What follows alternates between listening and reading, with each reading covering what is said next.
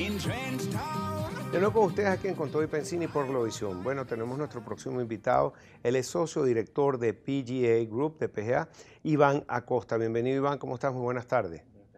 Gracias por estar con nosotros. Un placer. Bueno, hay un tema que tratan casi todos los empresarios que vienen a este programa, gente de Fe Cámara, con Comercio, con Industria.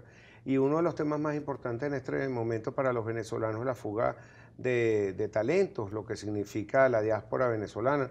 Pero tú estás llevando a cabo un seminario que se va a llevar a cabo en el JW Marriott el 6 de febrero, que se llama Venezuela, el capital humano, pieza clave para triunfar creo que más o menos va así la cosa. Cuéntame un poco, si tenemos esa diáspora que se está yendo, es como un llamado a la gente que se queda aquí, qué hacer con lo que estamos aquí, o qué se hace si tú emigras como talento eh, digno de exportar. Cuéntame un poco. Fíjate, un poco en el proceso de decisión empresarial de continuar en el país, este, supone superar varios retos, materia prima, productividad, logística, y uno de los retos más importantes es el concepto de talento. Con qué equipo cuento, cómo hago para retenerlo, para motivarlo, sobre todo ahorita que el concepto salarial no está siendo, no es capaz de cubrir un poco el, concepto, las necesidades básicas. Entonces es un desafío para el empresario no solo, digamos, combatir las condiciones, eh, digamos, adversas que puede tener ahorita el mundo de los negocios, sino cómo conciliar un espacio favorable para el mundo del trabajo en el cual sabiendo que no puede recuperar salarialmente las necesidades del, trabajador, ¿cómo hago para tenerlo conectado, motivado, comprometido? Y bueno, mientras que esté conmigo en, el, en el, tiempo laboral, este, ¿cómo hacer que funcione el concepto de negocio? Está bien. Este seminario, como para cuántas personas, qué público está dirigido, dónde lo vas a llevar a cabo? Eh, a ver, está dirigido más o menos a un grupo de entre 100 y 150 personas. Hemos tratado de diseñar algo lo suficientemente integral para que podamos ayudar a los gerentes de recursos humanos, directores de capital humano, gerentes generales o de finanzas, para que ellos construyan más o menos un poco lo que es el rompecabezas de capital humano en el país. Vamos a tener el bloque económico con Adrúbal de Oliveros, vamos a tener a Juan Carlos Prorrisque en el entorno laboral, vamos a tener experiencias concretas de, de éxito en el caso de Venezuela, como es el caso de Nestlé, vamos a tener con su directora de recursos humanos Marvikova, vamos a tener un GM, un gerente general hablando hablando también de los retos, su enfoque desde el punto de vista negocio, que es el caso de Héctor Rodríguez, que es de Empresas Unicom, y por mi parte voy a estar hablando un poco de cómo administrar el concepto hiperinflacionario y ciertos datos estadísticos que tenemos de estudios de tendencias para el 2018. Oye, eso es importantísimo, que cubran ese tema de la hiperinflación y cómo manejarse bajo ese esquema. Es bastante amplio y muy ambicioso, me parece muy bueno lo, que tienes programado, la agenda.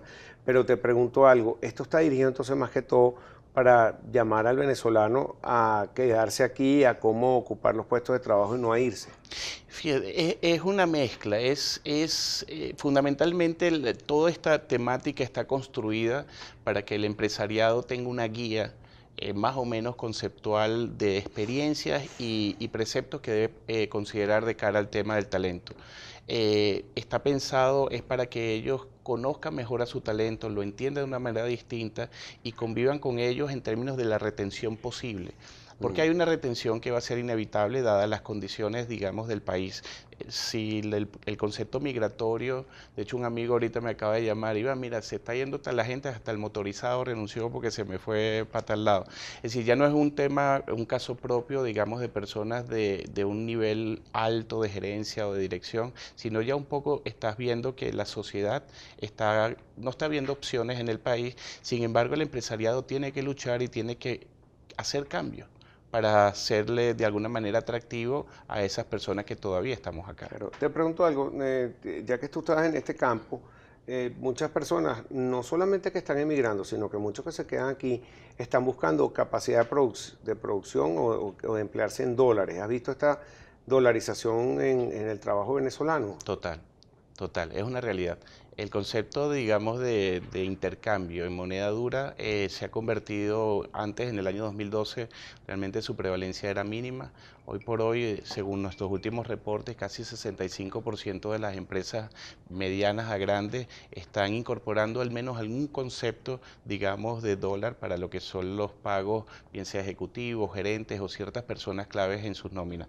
Eh, es una realidad, llegó para quedarse, este, la tendencia ha ido increciendo y eso se ha constituido en un recurso que las compañías están aplicando para al menos retener, retener y facilitarle la condición actual de vida a las personas. Yo, por ejemplo, hablaba con un amigo mío empresario, tiene más de 40 años con su industria en Venezuela y bueno, guapeando con los empresarios en el país.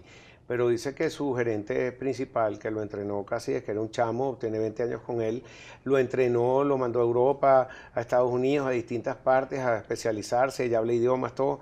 Pero me voy y no hay manera ni con dólares que tú puedas convencerlo de que se, que se está viendo este tipo de situación también. Sí, y con mucha frecuencia el, empresariado ya tomó la decisión de no competir con este tipo de decisiones. O sea, ya no, no quiero competir con el mercado internacional que me puede ofrecer otros temas de desarrollo, digamos, profesional, el tema de seguridad, condiciones de vida. El empresariado lo que decidió es que mientras que esté en el país, quiero competir. Y la competitividad ha resultado en niveles de pago distintos, ayudas especiales, temas de bonificación en moneda dura y una cantidad de complementos que ni te cuento. Por ejemplo, hay empresas que han llegado a acuerdos para facilitarle temas de batería, mantenimiento de vehículos, este, provisión directa de alimentos. Es decir, ha habido una suerte, digamos, de múltiples herramientas gerenciales para ayudar a las personas en esta coyuntura. De cambiar el sistema económico del país, no decir político, pues. Pero ¿crees que hayan oportunidades de que se recupere la industria venezolana, todos los, todos los empleos? Mira, este país ha perdido 40% de su PIB en los últimos cuatro años tenemos un 40% de camino como para volver a lo que éramos al menos cuatro años atrás. Es decir, es un país que tiene todo para crecer, es un país que tiene la juventud, tiene los recursos naturales. Lo que hace falta es las condiciones y los incentivos apropiados para que en el país se constituya una suerte, digamos, de, no llamémoslo de potencia, sino de un lugar, digamos, propicio para formarse, educarse y producir. Una de las industrias que más generaban negocios en el país, por supuesto, que es la industria petrolera. La caída de la producción, las condiciones en que está en este momento PDVSA, ha reducido esas posibilidades y muchas empresas que, ya sea por el plan de la patria o por algunas expropiaciones, confiscaciones, han tenido que cerrar.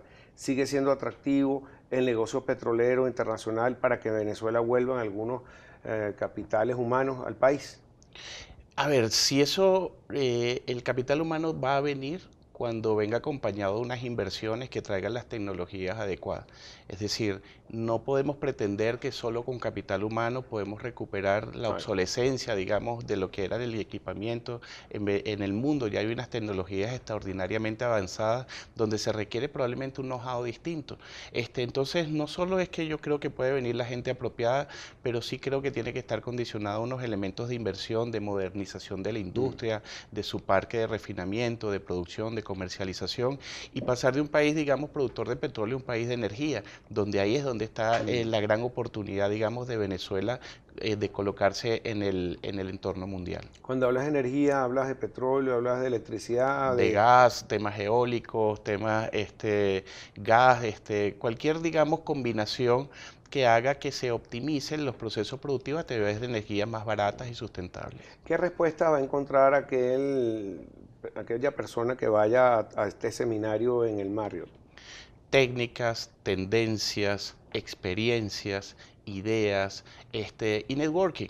O sea, eh, eh, el, networking, el, networking, eh, va a ayudar muchísimo a conocer, bueno, mi industria está afectada de alguna manera por algo, déjame hablar, digamos, con los colegas de esa misma industria para ver cómo están abordando ciertos problemas, van a, aprender de otras industrias, entonces va a ser una suerte interesante de intercambio tanto con los expositores como lo que son los, digamos, los compañeros, los colegas, digamos, en el campo de recursos humanos. Y personas que estén reclutando los scouts deberían también de ir conocer gente, hay posibilidad de conseguir trabajo en este seminario. Sí, bueno, de, no creo de conseguir trabajo, creo que los scouts de, de líderes de recursos humanos y de finanzas probablemente pueden ir porque lo van a ver a todos juntos. No es realmente un tema de empleabilidad, lo que estamos buscando es un tema de técnicas, de gerencia, de estrategia en términos de capital humano, que estamos tratando de unirla entre el negocio, la realidad actual y las personas. Ok, les recuerdo que el foro se llama Venezuela 2018, el capital humano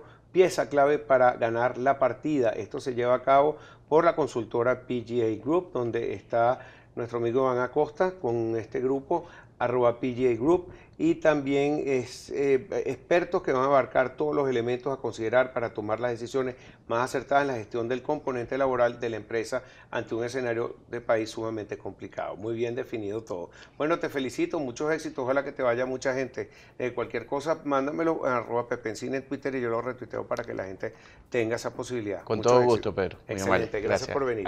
Y ya regresamos con más para ustedes aquí en Control y Pensini. Luego visión.